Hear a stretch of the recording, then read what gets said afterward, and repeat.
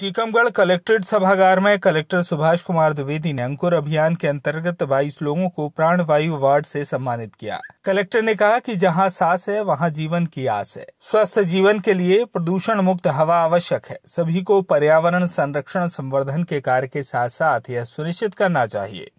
उन्होंने कहा कि प्राणवायु के लिए पौधारोपण करना आवश्यक है। कलेक्टर ने कहा कि अधिक से अधिक पौधारोपण कर पर्यावरण में दूषित हवा को कम कर पर्यावरण संतुलन किया जा सकता है, जिससे हम सभी स्वच्छ हवा प्राप्त कर सकते हैं और पर्यावरण संरक्षण और संवर्धन के लिए हर व्यक्ति को अपनी सहभागिता निभाकर राष्ट्र के प्रति अपने दायित्वों का निर्वहन करना चाहिए।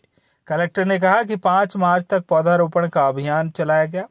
पौधारोपण के पश्चात एंड्रॉयड फ़ोन वाले लोगों ने वायुदूत ऐप डाउनलोड कर फ़ोटो अपलोड की, जिनमें टीकमगढ़ ज़िले के 22 लोगों को सिलेक्ट किया गया था, जिन्हें आज सम्मानित किया गया है। इस अवसर पर जिला पंचायत सीईओ सुदेश मालवी, अंकुर अभियान नोडल अधिकारी और जिला समन्वयक डॉक्टर सुनील कटियार, मनरेगा, रुजत तिवारी सहित संबंधित अधिकारी उपस्थित रहे।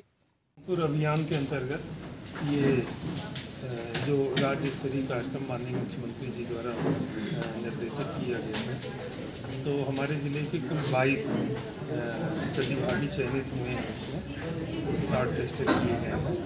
इन लोगों ने वायुदूत ऐप डाउनलोड करके और पौधारोपण किया, उसकी फ़ोटो उस पर अपलोड की है।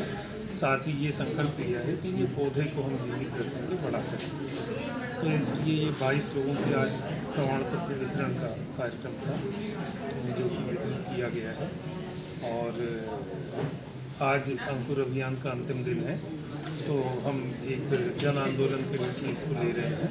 मैं भी अभी जा रहा हूँ और वृक्षारोपण के लिए अपने पूरे जिलाधिकारियों के साथ। टीकमगढ़ से मनोज सिंह की रिपोर्ट।